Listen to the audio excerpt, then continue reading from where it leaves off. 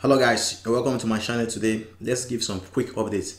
One of my favorite projects loom network that is seeking to build layer 2 scaling solution for the ethereum network and that raised i think 20 million dollars or something like that. They are seeking to raise almost 120 thousand dollars to build the game. Why many people may be looking at it okay it's a way you will get this reward depending on how much you contribute. Like as you can see here ten dollars this is what you get. Twenty dollars is what you get. Thirty dollars fifty dollars 75 and more. I'm beginning to wonder and they give the this the specification of what their project is all about and um, many other stuffs. But I'm wondering, I'm wondering, I'm wondering. First, is, has it come to the point where what about the money that was raised? Because we should not be very excited that they are trying to create something. Yeah, we're trying to create something. Yeah. But when did you raise? Let's go on ICO drops. ICO drops. And let's start Loom Network. So they did an ICO 11th of January, that was when the ICO ended, and they raised 45 almost 46 million dollars out of 57 million dollars that is almost um 10 million dollars short of. And now they are trying to do something. They are coming before kickstarter in order to get funds. This is ridiculous. This is ridiculous.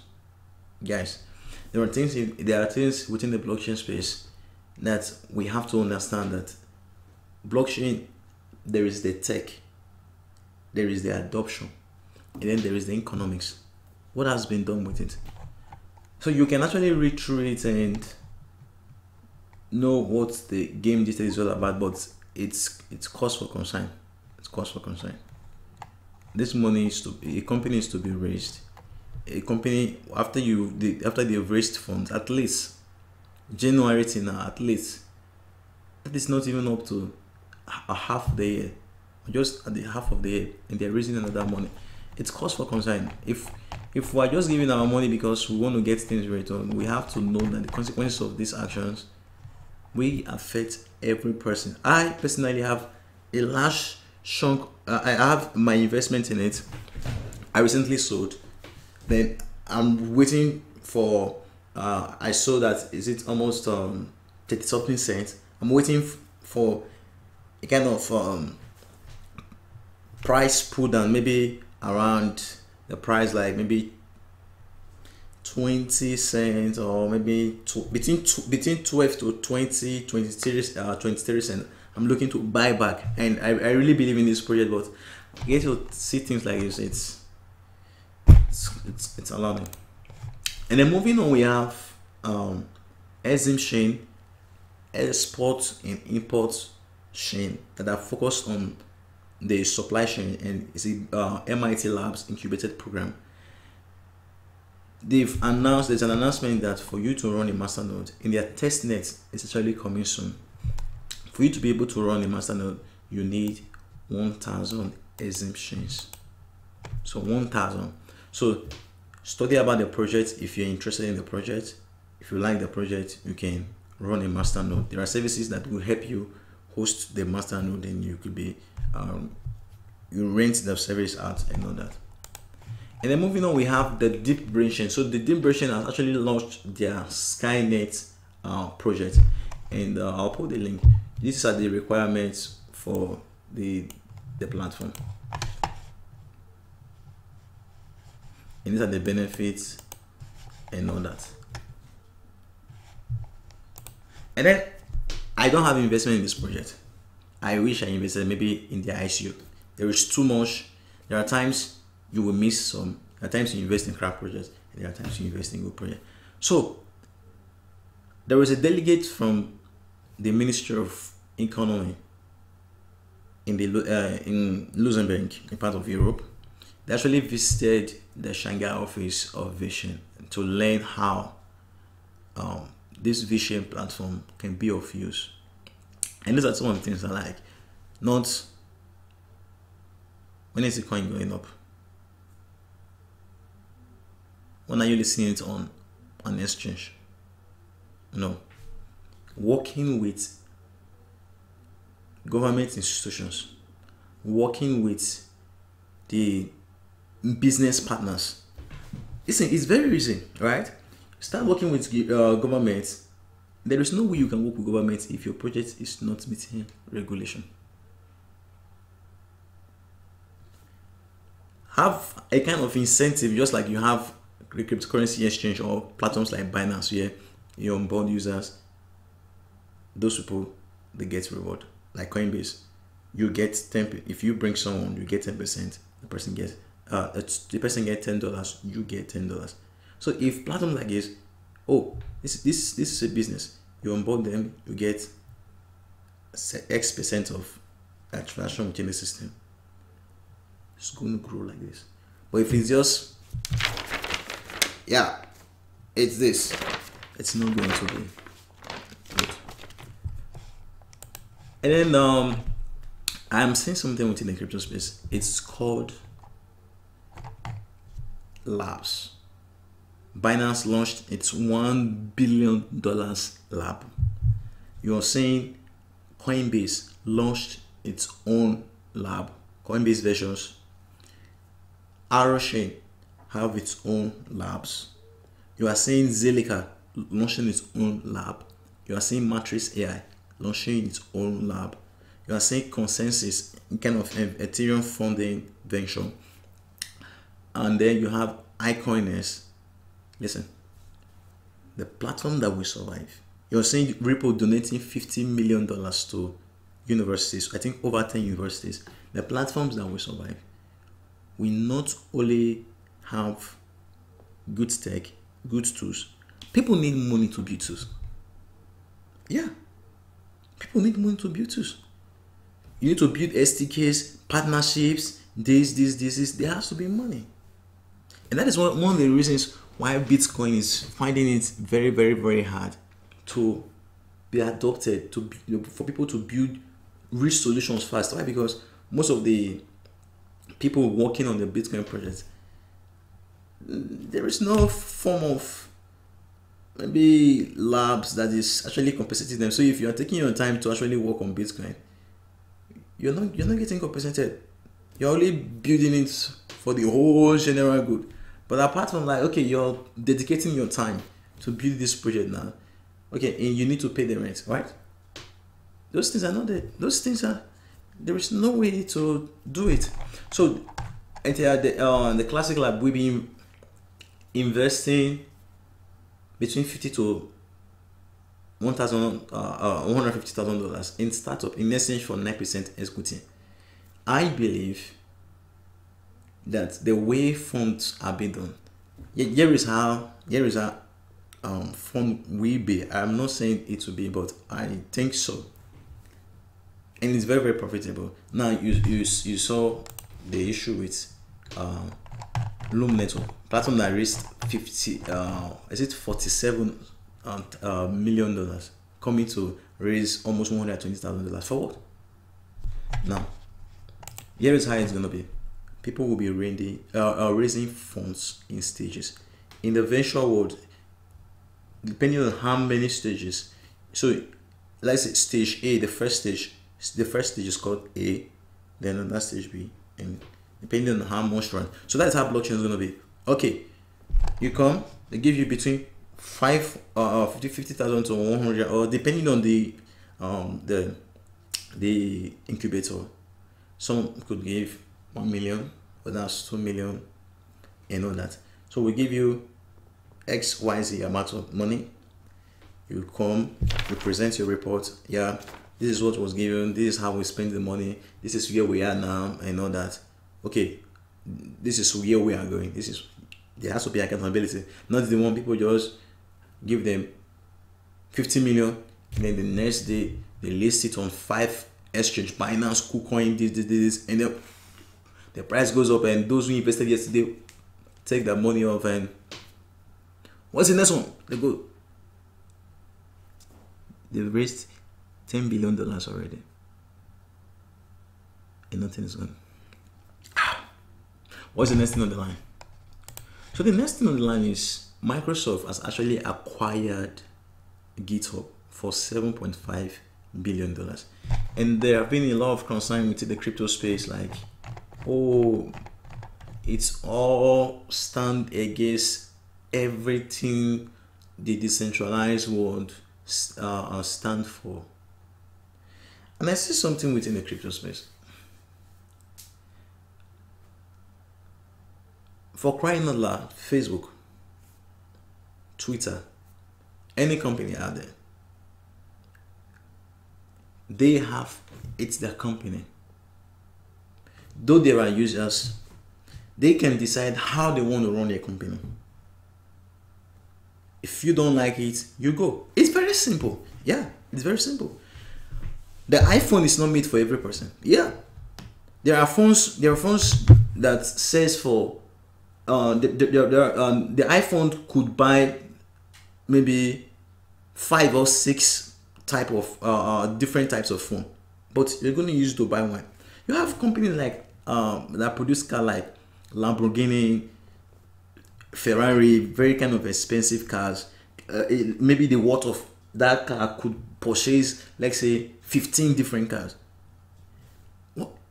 You are not saying oh, you're not going to go to the store and say why are you selling this car at such an exorbitant price? Why is it so high no.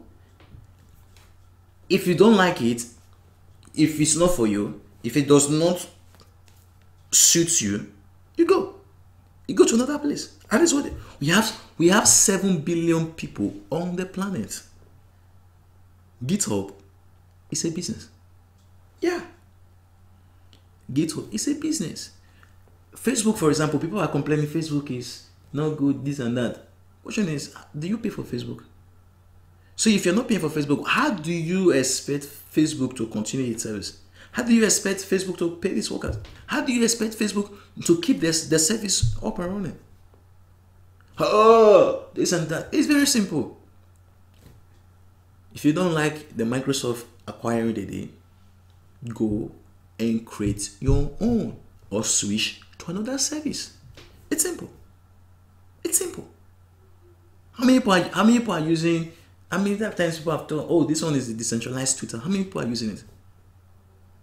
That is why crypto is down. Nobody is using it.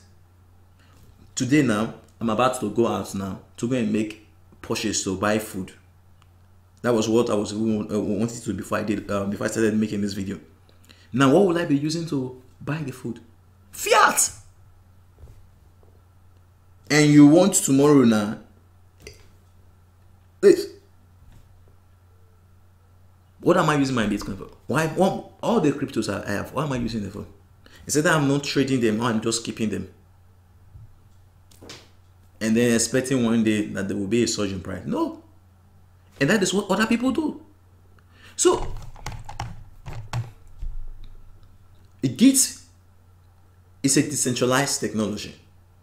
It allows people to keep track of it's, it's, it's something called uh, version control. So a group of individuals or a team could be working on a project, and they could be monitoring how a project, uh, how the um, uh, this, changes that is being made to the project. It's like you have a spreadsheet there is a way you could um, if you if you if you if you are more in advance working with spreadsheets like Excel and all that, it's a way you could actually know when changes are being made to work, what was the changes, what time was the, what time was the change, and many others. So the Git is basically a kind of system that keeps track of what changes were done and the, like a version control and all that it's an example a quick example of git is like your how do i get this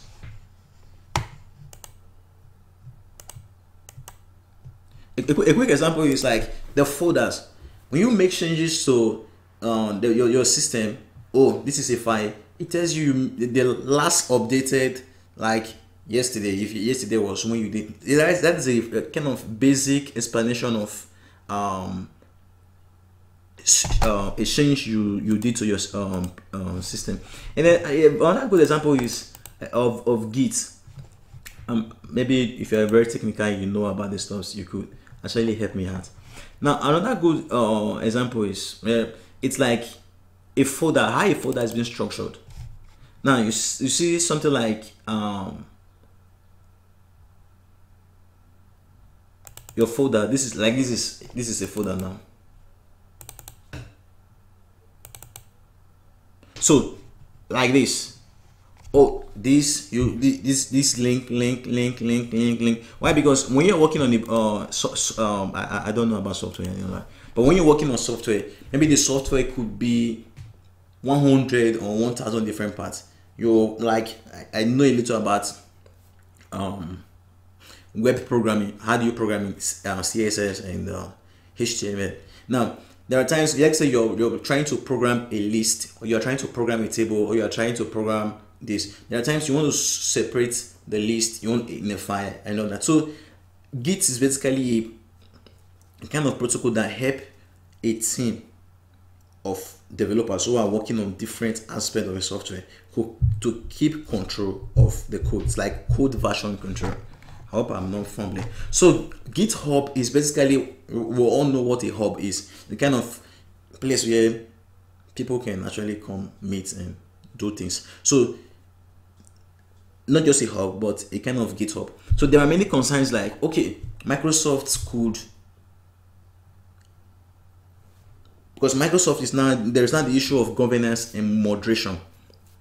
Okay, um, something might there are accounts that have been taken down, like on Facebook, on Twitter, and all that. There is a banning because this platform. So there is a concern like, oh, Microsoft could have so much power. We're having decentralized world. What about if they take down, start taking down code bases and content and all that? And then, or maybe we are building uh, systems where, like you can see with the like China, for example, if you are trying to submit an app to an Apple store, if it violates the China, Chinese law, it's not going to be accepted. Or if it uh, violates some guidelines, it's not going to be accepted. So, what is basically, uh, what is uh, uh what they basically trying to do? It's very very simple. I'm basically bringing a system here. They are saying Microsoft. Oh, sorry, they're basically saying Microsoft could battle pressure from government or they themselves could censor it. But if you look at Microsoft,